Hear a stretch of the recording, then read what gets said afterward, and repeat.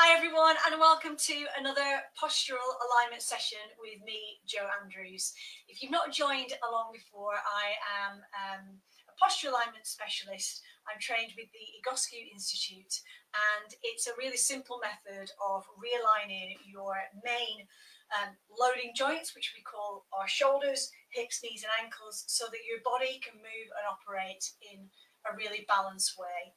Uh, the body's designed to um, work evenly side to side, both right and left, and front to back. So if you've noticed something about your posture that you're kind of not quite sure about, or you get repeated niggles, um, then you're in the right place today. It's not an exercise class, but it's a really good preparation for all movement, like brushing your teeth. It's that kind of maintenance um, work that we do together today I wanted to share a really specific Egoscue sequence uh, for people that suffer with headaches and neck tension. So if that's you, um, this is really going to benefit you today. Um, I know I get quite a lot of neck tension from working at a computer for long periods of time, and even we spend a lot of time on our phones these days, don't we? Looking down, head down. So whatever you, uh, whatever might be causing that tension, or, or those headaches, then really let's hope that this does the trick. Okay, what you're going to need today though is a little bit um, of equipment, stuff that you can find around the house. So I'm using today a couple of cushions or blocks here and one big flat book or cushion. So I could use a couple of cushions and a, big cushion. Um, I just happen to have a couple of these blocks handy or I could use a couple of block, a couple of books underneath one big flat book or cushion. What I want to do is create a surface that we can place our bodies on to put our bodies in certain positions to help alleviate that tension that might cause um, us to have headaches. So let's start though against a wall. So I'm going to grab yet another cushion. Use a lot of cushions in these sessions and come against a wall just to start off. I'm just going to change my camera very, very slightly. Hopefully I won't lose you. Haven't. It's good. And then we're just going to, you can't see my face, but that's not important. What is important is that you can see the, the lower part of my body here. So my heels are against the wall. I've got my cushion handy. In fact, I want to place that between my thighs here. So it, it, it doesn't have to be, you know, the perfect size or shaped cushion. But what I want it to do is just to create some um, energy and some activity in that lower part of your body.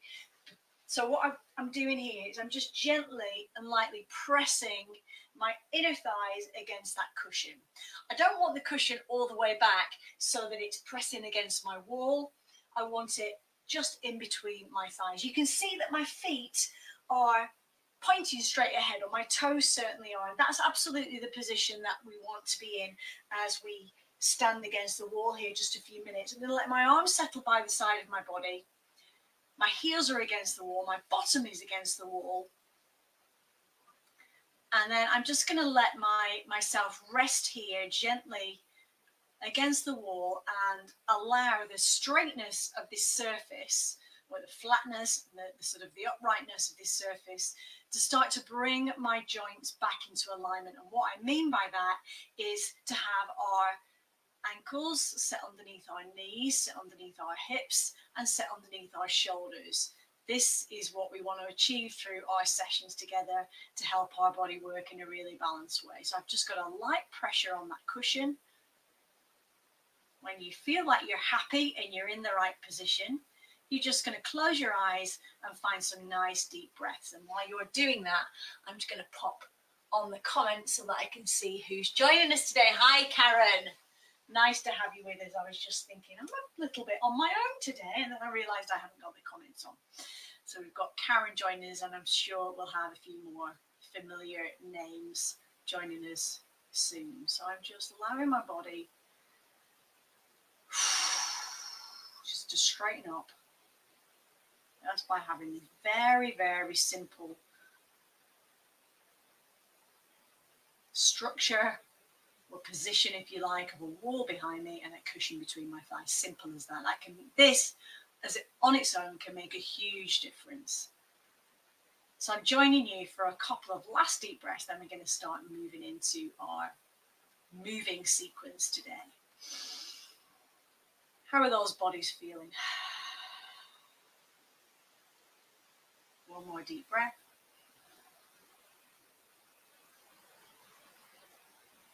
Fantastic. And then we're moving away from our wall. I can see you again now and back into our space. Okay, so I've got my chair handy today and I've got my little props here. If you've only just joined us, you're going to need, morning Jacqueline, you're going to need a big book or a large cushion and a couple of cushions to prop it up and I'll show you why. What I do here is I want to make a slant. Can you see?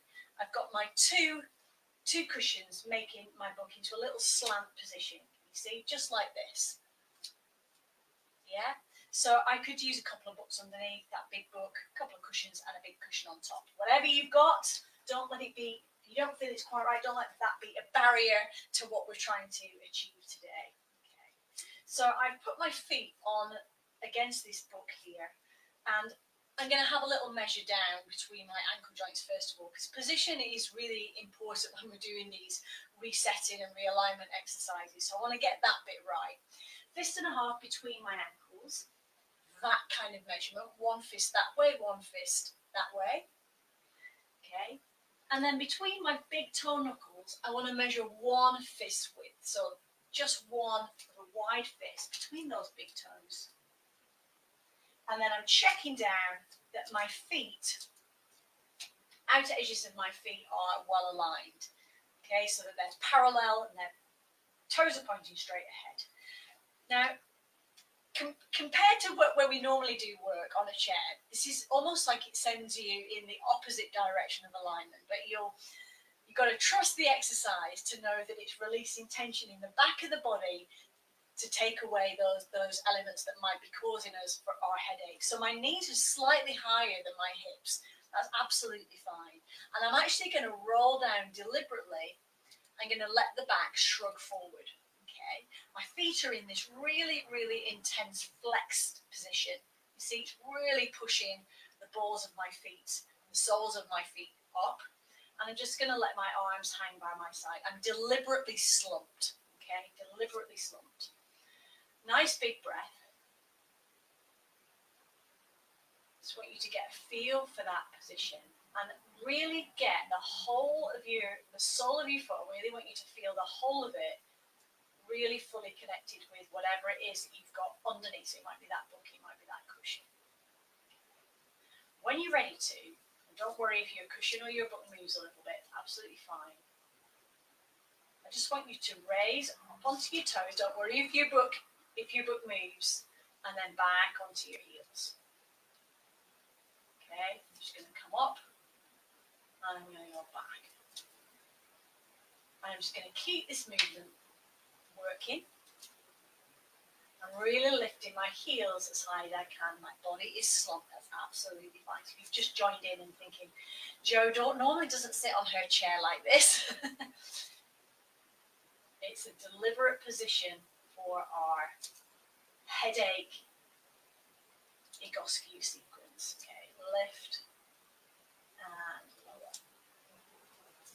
Lift and lower. Just do one more. And then I want you to grab that other cushion that we used against the wall, just pop it between your thighs. And you you set up where your feet is as it was. You might need to just make sure, adjust it slightly to make sure it's there. I want you to I want you to feel or know that you can do this Egoscue work anywhere. You know, we could do it we could do it on the bus if we had a jumper that we could roll up and pop between our thighs and maybe your handbag underneath um, the chair in front of you. You would never let what you've got available to you stop you from doing the work here. So if you're on a public transport and you've got a bit of a headache, try this little sequence. Okay, so I'm gently now pressing this cushion between my thighs. I'm still slumped, or I'm letting my pelvis sort of slump under. I'm not, I'm not forcing the body forward. Okay, my chin's parallel to the floor, and here I go. I'm going to lift and lower again. Now with a light pressure on that cushion, lift and lower. Lift and lower. I'm looking forwards here. Lift and lower. My arms are relaxed, my belly is relaxed, lift and lower. Check that your feet aren't turning out and that your ball of your big toe is in contact with that book or cushion all the way through. Lift and lower. Lift. If you've got somebody handy in your household, maybe they could make you a little slant board. but a book, a couple of cushions is absolutely fine. Lift and lower. Keep going. Lift and lower. Lift and lower, lift and lower, lift and lower. Let your heels drop back, keep that slump position, and then I just want you to squeeze and release that cushion. Squeeze and release. Squeeze and release. Squeeze and release. And remember, if this isn't you at the minute, you don't have a headache, or maybe you're prone to migraines, you could try coming back to the recording of this sequence and maybe do it three or four times this week and just see if it makes a difference to your to how you feel, to how your body's feeling this week. Maybe if you know someone who really suffers with migraines or headaches, send them the link to the, the virtual village hall and, and have them try this little sequence. It might just do the trick. Squeeze and release. Squeeze and release squeeze and release, checking that your full foot is against that support, that slant. Squeeze and release, squeeze and release. Keep going, nearly there. Don't squeeze the stuffing out of your cushion, just a light press. Full foot connected to your slant board. Two more, and this is my last one.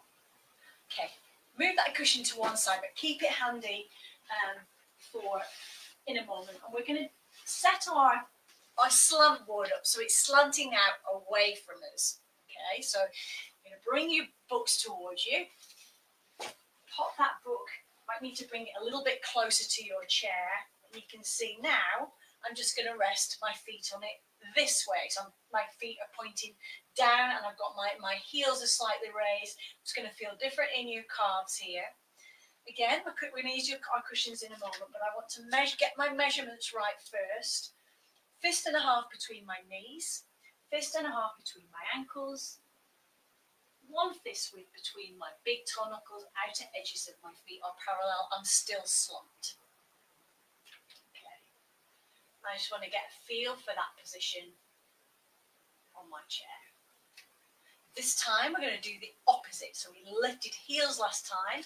This time you're just going to lift your toes. You can see with my little makeshift slant board here, my book is moving up and down. That's absolutely fine.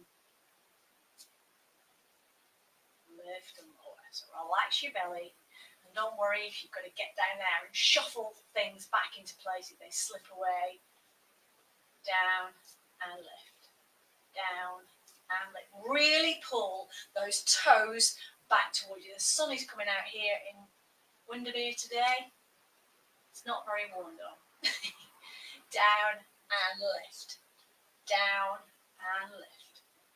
Down and lift. Down and lift. Okay, so now you've got a feel for that movement. Carefully go and grab your cushion or your jumper or whatever it is you're using. There's that little bit of resistance in between your thighs and you can see that I'm really tempted to, to sit until my pelvis forward. I'm not going to do that. I'm deliberately just letting my body slump today. Okay, so I'm just going to lightly hold that cushion here. Light grip as I lift and I lower lift, and I lower. Lift, and I lower, lift, and lower. How are we doing? How are we doing, Jacqueline? Is everybody still squirreling around the house trying to find the, the bits of equipment? it's a good idea to have a few cushions um, handy for Egoscue. Often we'll use a dressing gown cord or a tie, a chair and a wall. Usually stuff you can find around your living room. Um, but it might just be worth having those handy. Down and lift, down and lift, down and lift, down and lift. Two more. The last one. and then let your feet drop into that extended position, that, that position that we started in. And you're just going to squeeze and release that cushion. This is our last little sequence, part of the sequence on our chair. You might feel and find that your body is starting to kind of almost naturally pull itself up, naturally trying to straighten itself. And that's really nice. What we're, we're doing with all of these exercises is coordinating our movement, coordinating and balancing our movement. That's all we're doing in all of the sequences and exercises that we do, putting the joints back where they need to be, and we're asking the body to move so that when it goes and moves away from these positions, it moves in a coordinated and balanced fashion. Squeeze and release. Squeeze and release. And the more awareness we can have of our body and how it's moving, the better the more connections we will make with our brain and the longer our body will keep these new habits until they become permanent changes, which is what we want. Squeeze and release. Squeeze and release. Let's do three more together. Squeeze, squeeze, and squeeze. Lovely.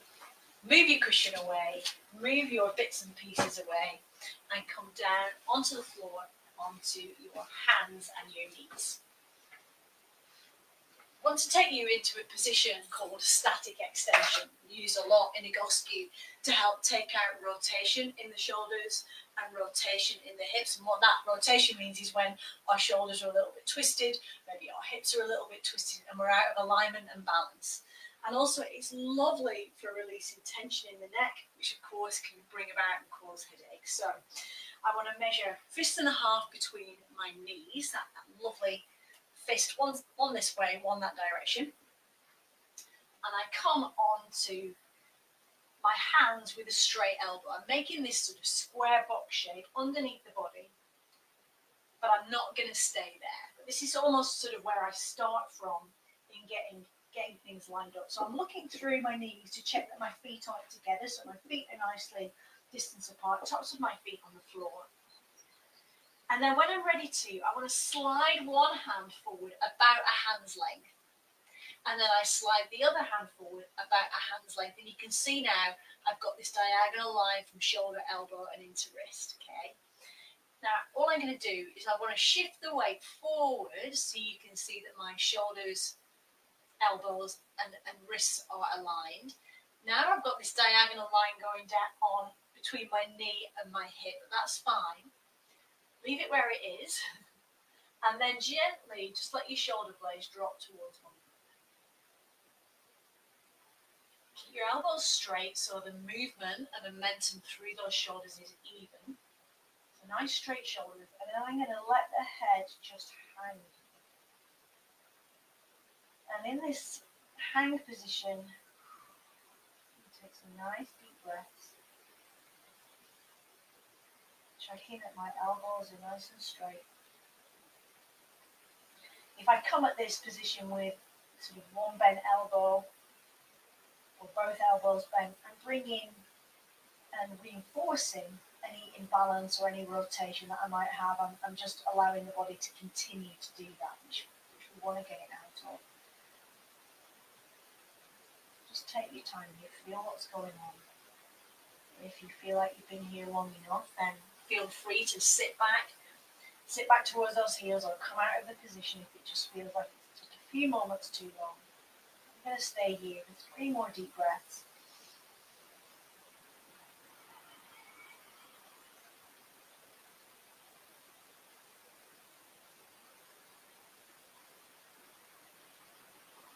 Allowing my body to sink, just encouraging my head and neck to really release as best it can.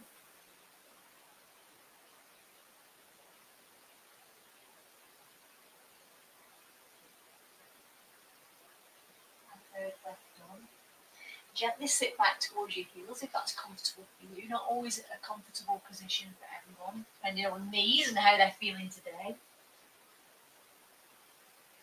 If it's not good for you, Sit on your bottom and we'll be there with you in a moment.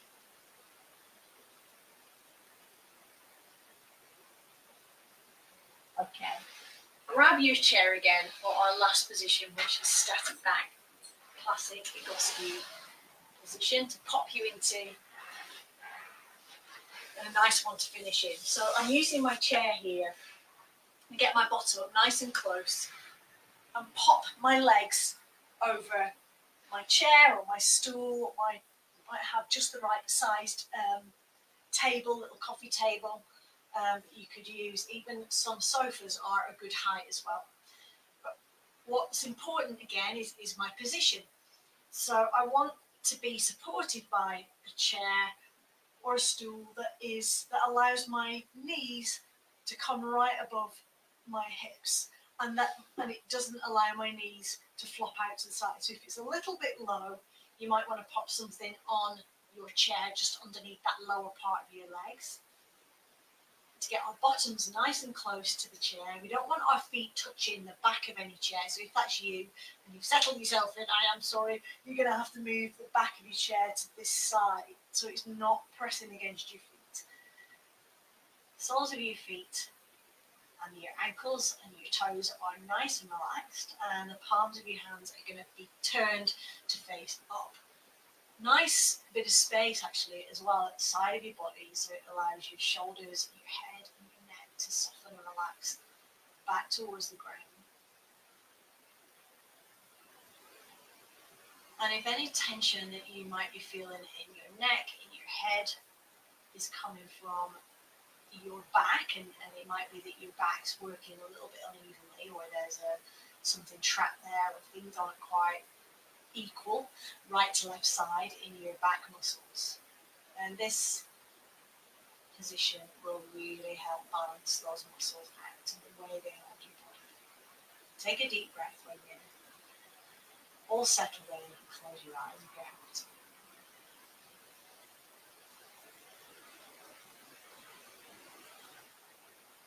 Just getting a sense today of where you're at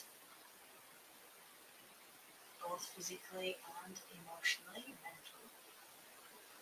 Really just being honest and true. Like you were given a weather forecast of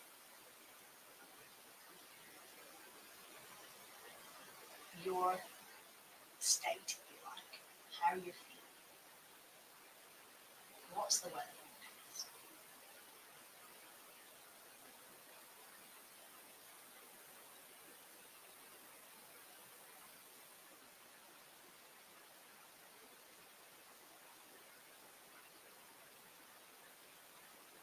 Another nice deep breath.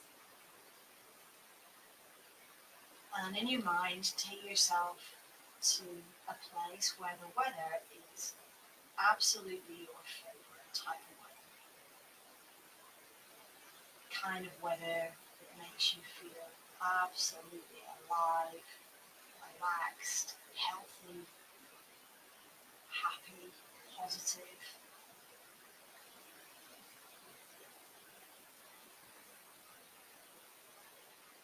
Sounds when weather is like this for you? What's the air smell like? What's the temperature like? What do you wear? What is it that is giving you these feelings of aliveness, wellness, happiness, positivity?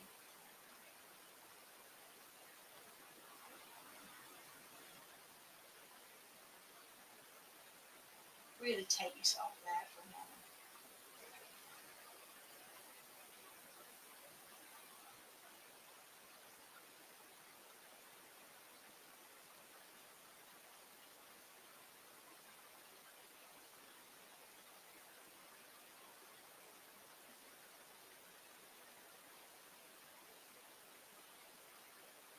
mind started wandering, that's absolutely fine.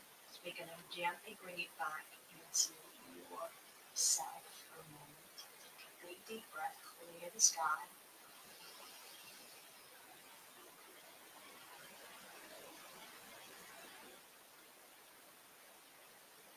And notice if the weather forecast there's any difference, any changes or not in the weather forecast as you return back to your self right now.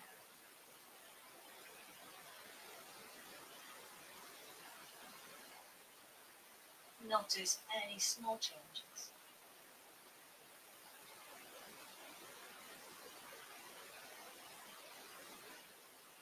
Um, something to note and reflect on before we step into the rest of our day is just as the weather passes through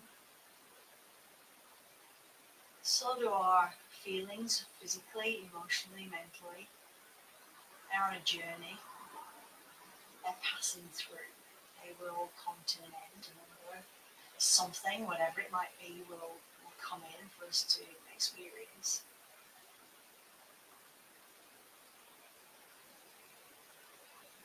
Know that whatever it is, it is always passing through. Like the clouds move along in.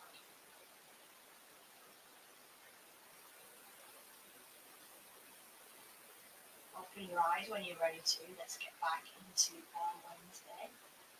Nice big stretch, yawn, whatever it is that you need to do to bring yourself back into your day. You might even want to stay there in static back if that's feeling like just doing the trick today. I'm back here again this afternoon at half past two for um, a lovely Fit Steps dance session. So if you fancy tripping the light fantastic this afternoon, come back and join me at half past two. I look forward to seeing you again there. If not, I'll see you next Wednesday, same time, same place, in your living room, in my living room. Until then, take care. Bye everyone. Thanks for your company.